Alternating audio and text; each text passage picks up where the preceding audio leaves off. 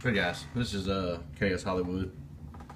I just ordered my my metal detecting doodad I got from Don Botting and uh, as you can see it fits on there perfect. Um, I really wish I could show you exactly how strong this thing is but I've got a dime right there and this thing is so strong which I like, that I could literally see scratches on that dime that I could not see with the naked eye.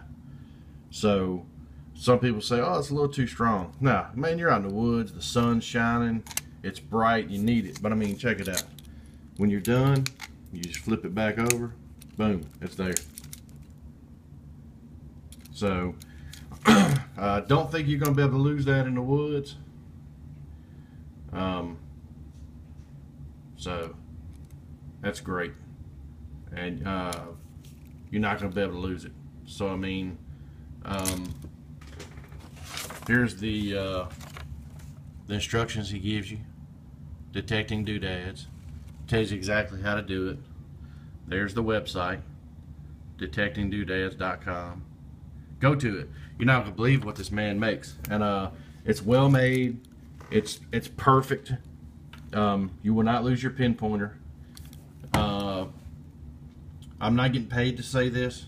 This is something that when I saw this, uh, I liked it.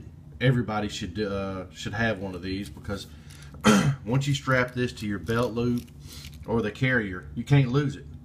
If you take it out of your out of your Garrett pouch and you drop it on the ground and you are laid on the ground and you forget about it, not a problem. It, it'll it'll start following behind you. So it's uh it's perfect.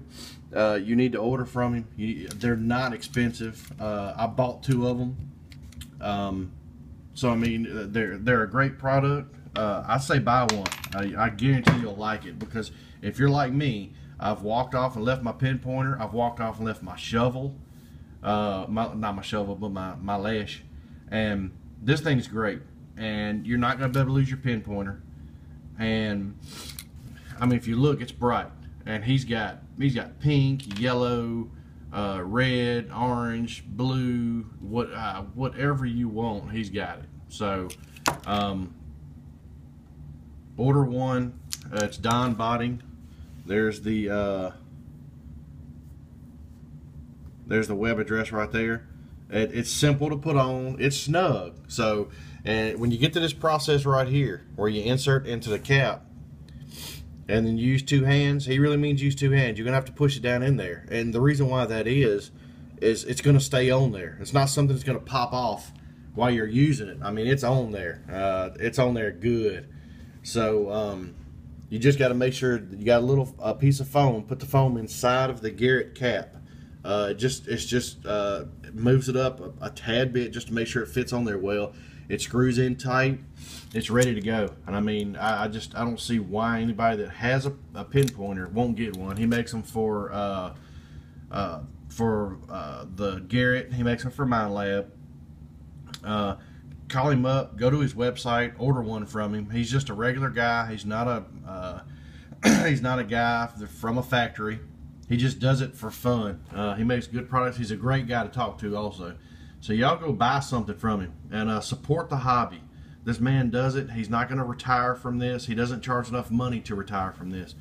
But he's somebody that's in this hobby that we can support. And I would much rather support a metal detectorist than support Lowe's or whatever and try to make my own. It's fun making your own stuff, but this guy has spent a lot of money to make these, and uh, I enjoy them. I like them, and um, I'll, I'll have more. I'm going to order uh, plenty. He's got a lot of metal detector stuff. So go to uh, Detecting Doodads and detectingdoodads.com and look what he's got. He's got all kinds of stuff. So uh, tell him where you saw it and uh, order some stuff from him. Thanks for watching.